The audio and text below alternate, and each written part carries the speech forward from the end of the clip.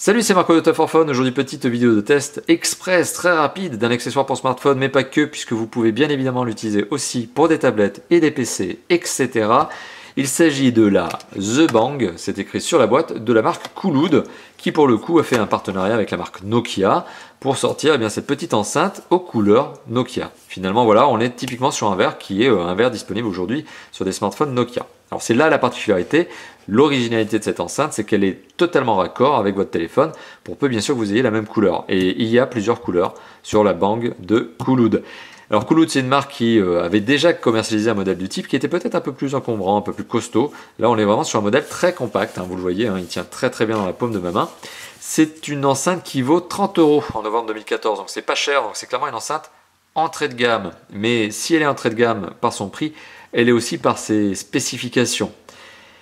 Alors vous l'avez vu, un design plutôt compact. On est sur une enceinte qui n'est pas Bluetooth. J'insiste vraiment là-dessus parce que pour moi c'est clairement le point faible de cette enceinte. Aujourd'hui pour une enceinte nomade, on s'attendrait quand même à avoir du Bluetooth. Ici on est quand même sur du filaire, du bon vieux jack 3.5 comme je vais vous le montrer d'ici quelques instants lorsque je vais faire le test avec vous hein, du son. Alors particularité de cette enceinte, elle est mono aussi, mais bon ça ça se devine, elle n'est pas stéréo, il n'y a pas deux haut-parleurs, il n'y en a qu'un. De cet haut-parleur, il balance méchamment. Il est capable d'aller vraiment mais très très très loin en son. On a presque l'impression d'avoir un son qui peut aller au niveau d'un marteau-piqueur. Hein. Ça peut vraiment balancer très très très très fort. Voilà, donc c'est la particularité de cette enceinte. Autre particularité, elle est extrêmement simple d'utilisation. Pas de Bluetooth, donc du filaire, donc pas de synchronisation à faire. Vous branchez en jack 3.5, bingo, c'est gagné, c'est fini en deux secondes. Voilà, donc particularité, c'est ça. Au niveau du design, on a quelque chose qui est plutôt sympathique. Alors on est sur un triangle. Hein. Voilà, donc c'est assez, assez sobre plein de triangles de partout, encore un triangle sur le logo, donc c'est vraiment, voilà, c'est la figure de style. Même le bouton on-off est en forme de triangle. Hop, là il est en position off, là il est en position on. Voilà, et là on a le petit, euh, bah, toute la, petite LED hein, qui vous dit que vert, ben, elle peut être utilisée. Si elle clignote en rouge, bon, il faut la recharger, et quand vous la rechargez, elle est en rouge. Voilà, donc c'est code couleur très classique, hein, vraiment en utilisation, on est sur du très très basique. Au niveau du bas de l'enceinte, ici, on a un revêtement caoutchouc qui permet justement d'éviter que l'enceinte ne glisse. Donc ça c'est un bon point, là vous voyez, donc il y a une certaine adhérence, il y a vraiment une adhérence. Ça c'est un bon point, alors que sur le haut de l'enceinte, forcément on reste sur du plastique brut.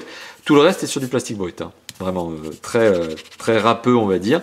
Mais bon, c'est pas mal fait, c'est pas voilà, les plastiques sont bien euh, coupés, euh, il n'y a pas de, bavure euh, au niveau du plastique. Donc oui, c'est un produit qui est bien fini, c'est compact, c'est petit. Voilà, donc je vous ai donné grosso modo toutes les caractéristiques de cette, de petite enceinte de, de la marque Coolood, créée en partenariat avec Nokia, qui s'appelle la The Bang, commercialisée à 30 euros. Alors, si je devais vous faire écouter un peu le son qui est, qui est donné par cette enceinte, alors vous allez le voir, hein, franchement, la brancher, ça prend 30 secondes, c'est vraiment, enfin 30 secondes, vous voyez, c'est vraiment pas compliqué.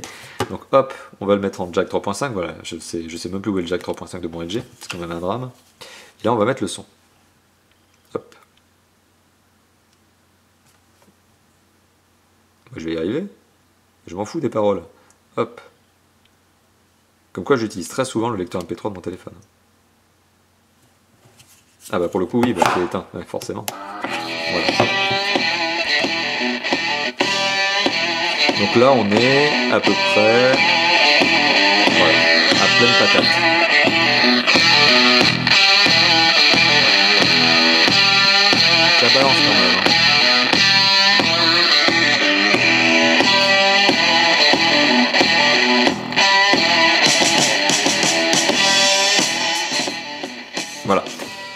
Donc un son, un son plutôt puissant, pas de problème là-dessus. Un son qui présente une autre particularité. Alors en tout cas l'enceinte présente une autre particularité, c'est qu'elle peut être branchée à d'autres Coolood euh, The Bang, c'est-à-dire que vous pouvez en brancher plusieurs en série. Ce qui fait que forcément vous allez gagner euh, eh bien l'aspect stéréo déjà, enfin entre guillemets stéréo parce que c'est pas vraiment de la stéréo, mais vous allez gagner peut-être en, diffusion de son en efficacité. Pour le reste, euh, oui, le son restera toujours mono quoi qu'il arrive, parce que vous avez beau mettre deux monos côte côte, bah, ça fait toujours deux monos. Hein. Le stéréo, il n'est pas vraiment fait. Hein. Euh, c'est-à-dire que le son, il vient de la même manière de deux enceintes. Il n'est pas mis sur un canal et sur un autre. Voilà, donc, bon. Est-ce que ça vaut vraiment la peine d'acheter plusieurs Coolood et de les mettre, enfin de The Bang et de les mettre en série comme ça? À mon avis, pas du tout. Euh, je, vois mal quand même quelqu'un acheter deux Coolood comme ça et les mettre en série. Franchement, pour moi, c'est pas un investissement parce que pour 60 euros, vous avez des vraies enceintes stéréo qui marchent très bien et qui sont Bluetooth pour le coup. Voilà, donc pour le, voilà, c'est vraiment une enceinte qui mérite d'être achetée à la rigueur toute seule et encore. Maintenant, voilà, je vais vous donner mon avis.